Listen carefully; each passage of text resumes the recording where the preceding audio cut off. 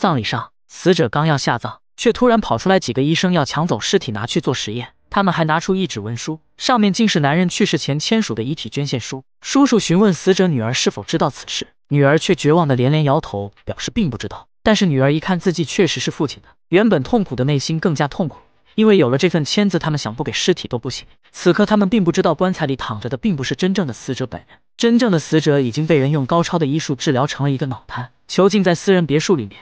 而这一切都是暗地里这个腹黑男安排的。原来就在五年前。死者因为帮助艾琳欺骗丈夫，以其他人的尸体冒充他女儿，隐瞒他女儿活着的事情。腹黑男怀恨在心，于是，在昨天夜里，他悄悄开车将死者撞倒，然后他利用自己医生的便利，在救活死者后，同样以调包的方式用其他人的尸体冒充死者，在医院里宣布了死讯。